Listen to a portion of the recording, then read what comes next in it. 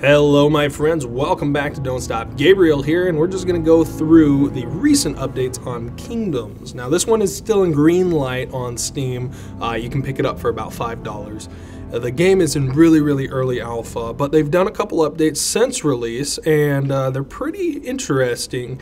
Uh, not a whole lot of content yet, but it's still going to be a little bit of fun, um, especially if you just like to enjoy a peaceful environment, maybe fighting some bears, and uh, building yourself a nice little garden.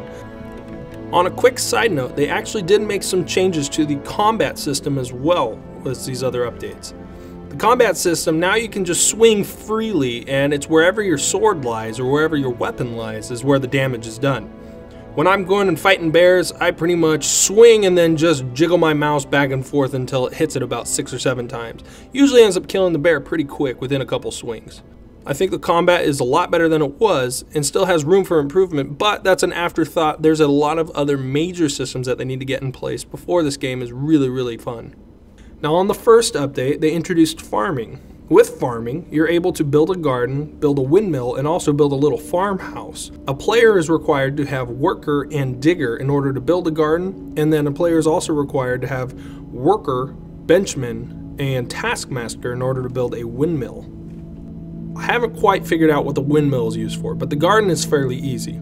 Throughout the world, there's a bunch of random seeds that you can go pick up. You just grab the little plants as you're running through the forest, and then as you build a garden, you can have multiple of them. You plant those seeds in there, and over time, and it can take quite a while, uh, these plants will grow into full on vegetables for you to eat. This allows you to not have to go in search of food so much in order to replenish your hunger and keep your health up. The other update that they did is they added in interiors to all of the homes that are currently in the game. Even the farmhouse for farming has interior in it. They changed some of the designs on some of the bigger buildings, and now when you walk in, you just push the door open with your character. You don't have to push any buttons or anything. You just walk straight into it, and you'll be able to see what type of interiors they've added. And they're pretty detailed. It looks really nice.